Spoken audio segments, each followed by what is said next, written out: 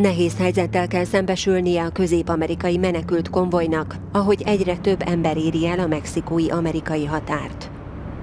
Hideg fogadtatásban részesültek, és arra figyelmeztették őket, hogy a határon való átjutási esélyük gyakorlatilag a nullával egyenlő. Már két napja itt vagyunk. Az éjszakát kint töltöttük a hidegben, de ez van. Egy jobb élet miatt megyünk az Egyesült Államokba, mondta ez a férfi. Azért akarunk oda menni, mert nincs pénzünk. Át akarunk jutni a határon, de meglátjuk, mit mond Isten, mondta ez a másik menekült. Több mint egy hónap alatt megtettek mintegy 4300 kilométert Tijuánáig. Az elkeseredett embereknek itt azonban szembe kell nézniük azzal, hogy itt a határ közelében is az amerikai állam számukra nagyon messze van.